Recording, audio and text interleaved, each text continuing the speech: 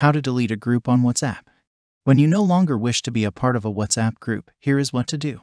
This tutorial will show you how to remove a WhatsApp group chat for whatever reason you may have.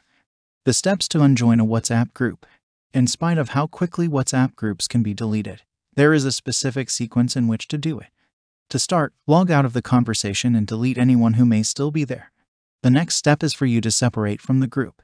At this point, it is safe to delete the conversation. Unfortunately, you won't be able to simply press a button and be done with the conversation until after everyone has left. Tap on the group you wish to delete. If you are not the admin and you did not create the group, tap on the three dots menu. Tap More. Tap Exit Group. Tap Exit. You have left the conversation. Now go back to the list of conversation and select it by keeping the finger on it. Click the trash button button from the top. Now you have left the conversation. But what if you created the group and you wish not to leave anybody on the group there? Let's see how we can remove the group and the participants. Tap on the group you wish to delete. Tap on the name of the group.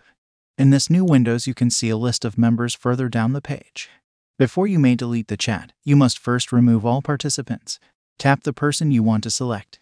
On the menu, select the Remove option. To delete a chat participant, tap the OK. Remove all participants from the group. After you finish removing everybody, just tap on the Exit Group option from the bottom. Only when you're the very last person in the group should you do this. Tap Exit. By doing so, you'll be removed from the group but will retain access to the chat options. It will be in the same place as Exit Group was before you left the group. Now you can delete the group like I showed you before. All done. The group chat you were has been deleted. Thank you for watching this. If this was useful, please like, share, and subscribe. You can watch more videos from the right. If you have any questions, please ask them in the comments area below.